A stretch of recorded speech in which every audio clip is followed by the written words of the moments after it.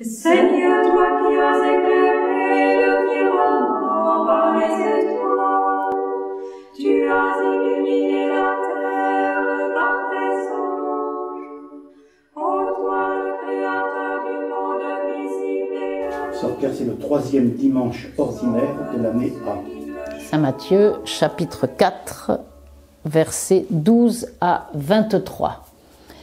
Il y a deux parties. hein. Il y a d'abord euh, l'accomplissement de la prophétie d'Isaïe en Jésus, et puis deuxièmement l'appel des quatre premiers disciples au bord du lac de Tibériade, de la mer de Galilée.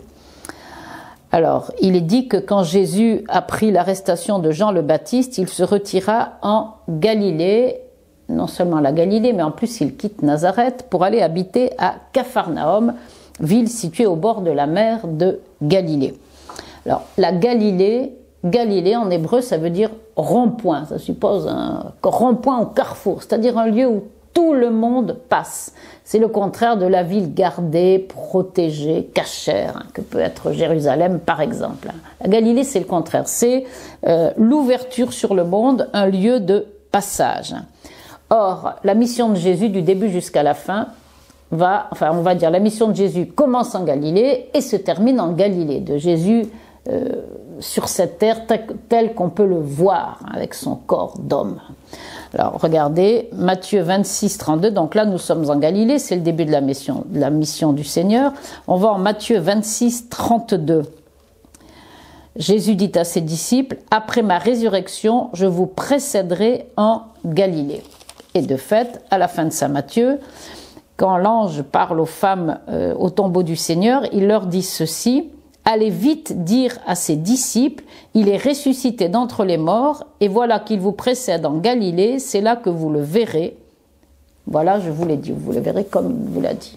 Donc la Galilée, extrêmement présente dans la vie du Seigneur Jésus, Jésus juif, Jésus juif pratiquant, mais Jésus venu pour annoncer la bonne nouvelle du royaume au monde entier, ça c'est la Galilée.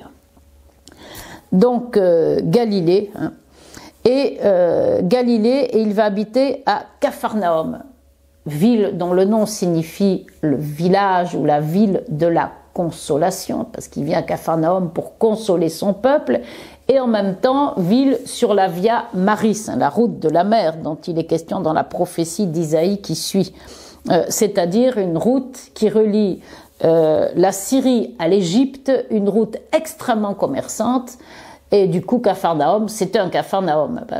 L'étymologie est complètement fausse puisque ça veut dire ville de la consolation, mais il y avait beaucoup de monde qui passait à Capharnaüm. C'est la raison pour laquelle Jésus s'y est installé chez Pierre, dans la maison de Pierre, Capharnaüm, sur la Via Maris. Alors, Saint Matthieu dit tout ça, ça s'est passé pour que s'accomplisse la prophétie d'Isaïe, hein, au chapitre 9, qu'on lit dans la nuit de Noël, cette très belle prophétie. Hein euh, où il est dit pays de Zabulon et de Nephtali, route de la mer, pays au-delà du Jourdain, Galilée des nations, le peuple qui marchait dans les ténèbres a vu une grande lumière sur ceux qui habitaient dans le pays de l'ombre et de la mort, une lumière s'est levée. Alors Zabulon et Nephtali, les, les, tribus de Zabulon et de Nephtali sont euh, nord de la Galilée, hein, l'ouest du lac, et jusqu'au mont Carmel. Donc la Via Maris traverse le pays de Zabulon et de Nephtali. Et puis la lumière annoncée par euh, Isaïe, le peuple qui habitait dans les ténèbres a vu une grande lumière, eh bien c'est Jésus dans nos ténèbres, il le dira lui-même. La présence de Jésus dans le pays de Zabulon et de Nephtali, c'est la lumière dans nos ténèbres. Comme Jésus le dira dans l'évangile selon Saint Jean chapitre 8 verset 12, Moi je suis la lumière du monde, qui me suit ne marchera pas dans les ténèbres, mais aura la lumière de la vie. Et c'est pour ça qu'il va appeler les disciples à le suivre, pour qu'ils ne marchent plus dans l'ombre de la mort, mais qu'ils aient la lumière de la vie, pour qu'ils ne marchent plus dans les ténèbres. Jésus vient sortir ses disciples des ténèbres. Et il va les chercher, euh, pas n'importe où, mais au bord de la mer.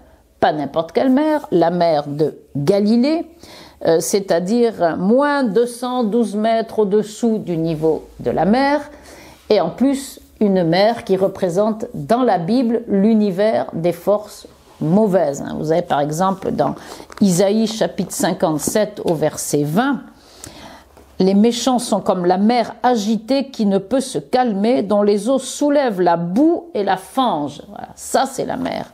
Ou encore dans une exhortation de Saint Jacques, dans la lettre de, au début de la lettre de Saint Jacques, chapitre 1, verset 5. Si l'un de vous manque de sagesse, qu'il la demande à Dieu. Il donne à tous généreusement, sans récriminer, et elle lui sera donnée.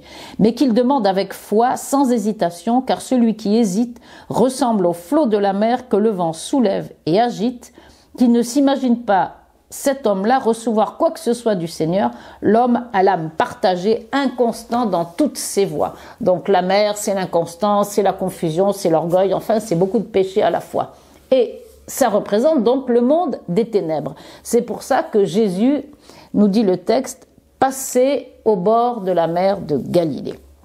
Alors, passez pas n'importe comment. C'est exactement le verbe qu'on retrouve en Genèse 3, 8, quand il est écrit, ils entendirent la voix de la parole de Dieu qui allait et venait dans le jardin au souffle du jour.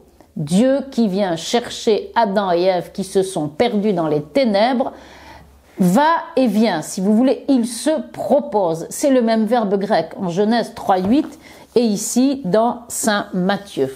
Jésus passe pour se proposer et pour appeler Adam et le tirer des ténèbres. Ici, pour appeler les disciples.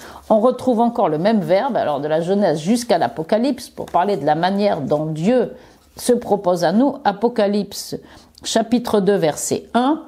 À l'ange de l'église d'Éphèse écrit, Ainsi parle celui qui tient les sept étoiles en sa droite et qui va et vient au milieu des sept candélabres d'or. Va et vient, c'est toujours le même verbe de la Genèse à l'Apocalypse en passant par Saint Matthieu ici. Donc Jésus au bord de la mer de Galilée et il nous dit qu'il voit deux frères, Simon appelé Pierre et son frère André. Alors, Simon, bien entendu, ça veut dire celui qui a des oreilles pour entendre. Hein. Shimon, Shema Israël, l'écoutant. Hein. Jésus a appelé d'abord celui qui était capable d'écouter, d'obéir hein, au Seigneur. Et puis le deuxième s'appelle André. Alors si on traduit André en, hébreu, ça veut dire l'homme, le, viril, et en même temps c'est celui qui fait mémoire et c'est le célébrant. Donc un programme se dessine pour les disciples du Seigneur. Écouter, célébrer en faisant mémoire. Alors, ils étaient frères bah, parce que c'est une famille que le Seigneur veut faire en faisant naître l'Église. Alors, il prend deux frères. Ils étaient pécheurs et euh, Jésus leur dit Venez derrière moi et je vous ferai devenir pécheurs d'hommes. Alors, suivez-moi. Ça sera toujours ce que le Seigneur demande. Il passe toujours devant. Il est la tête de son corps, c'est toujours lui qui passe en premier. C'est le sens de euh, ce bel appel dans le cantique des cantiques de l'épouse hein, qui parle au Seigneur. Hein. Attire-moi derrière toi, nous courrons. Hein. Se laisser attirer derrière lui pour courir à sa suite. C'est ce que le Seigneur va demander ici à ses disciples. Je marche devant et vous, vous mettez vos pas dans mes pas, suivez-moi. Hein. Et aussitôt, Pierre et André ont laissé les filets, ils l'ont suivi. Euh, il ne pêchait pas avec n'importe quel filet. Euh, le grec précise qu'il s'agit de euh, amphiblestoron. Amphiblestorum, c'est un filet rond et individuel. Donc ça s'appelle un épervier. Il y a des traductions qui disent épervier. Ça veut dire que chacun sa pêche, chacun son bien, chacun son autonomie. Vous allez voir une, une photo d'un épervier, d'un pêcheur qui est en train de pêcher dans le lac de Tibériade avec un épervier. Voilà, un pêcheur, un filet. Et ils laissent leur filet, ça veut dire qu'ils laissent leur autonomie pour suivre le Seigneur. Et Jésus leur dit, je vous ferai devenir pécheurs d'hommes. Alors Saint Augustin médite sur cette nouvelle manière de pécher à laquelle ils sont appelés. Ô pêche admirable qui rend libre tous ceux qu'elle capture.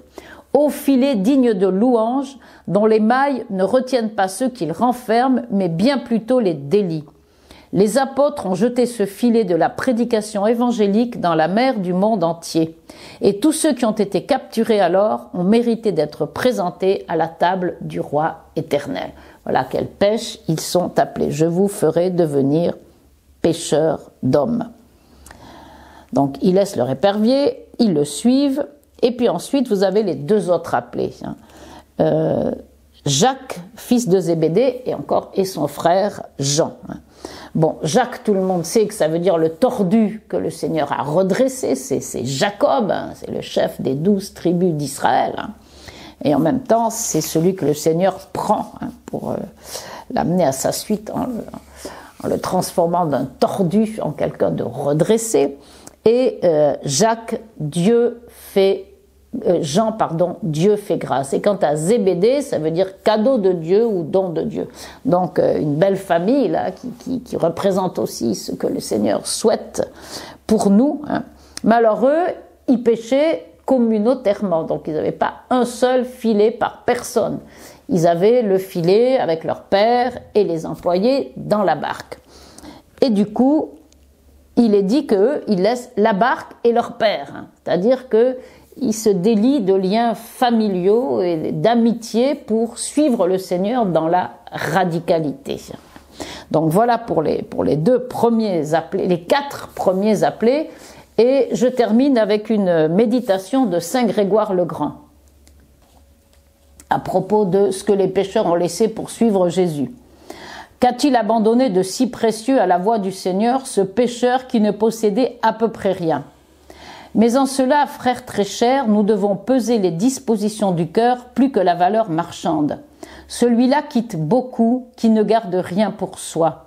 Celui-là quitte beaucoup, qui abandonne, sans rien se réserver, le peu qu'il possède. Nous, au contraire, nous nous attachons à ce que nous avons, et ce que nous n'avons pas, nous le recherchons avidement. Pierre et André ont donc beaucoup abandonné lorsqu'ils ont tous deux renoncé au simple désir de posséder. Sœur Claire, merci.